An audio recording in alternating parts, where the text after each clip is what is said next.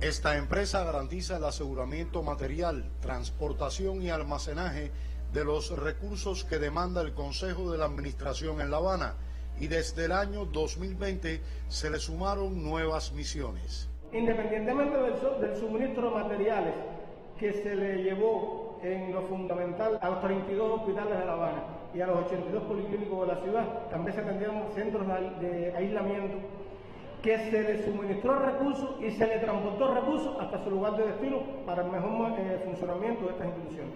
Todo ello con resultados económicos favorables que le merecieron la condición de vanguardia nacional del Sindicato de la Administración Pública.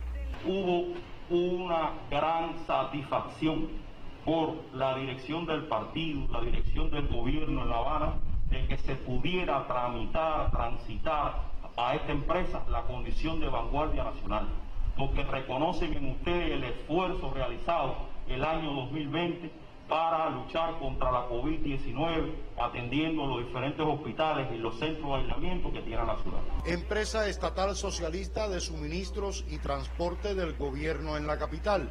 Colectivo Vanguardia del Sindicato de la Administración Pública.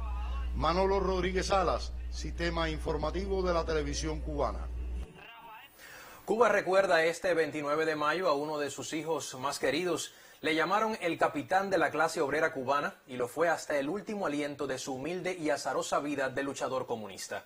En su cuenta oficial de Twitter, el primer secretario del Partido Comunista de Cuba y presidente de la República, Miguel Díaz Canel Bermúdez, recordó el aniversario 110 del natalicio del inolvidable Lázaro Peña.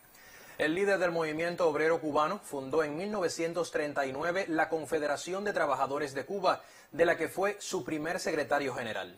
Durante las honras fúnebres de este gran defensor del proletariado, el líder histórico de la revolución Fidel Castro expresó, fue para todos los trabajadores cubanos como un padre y para los revolucionarios un hermano entrañable.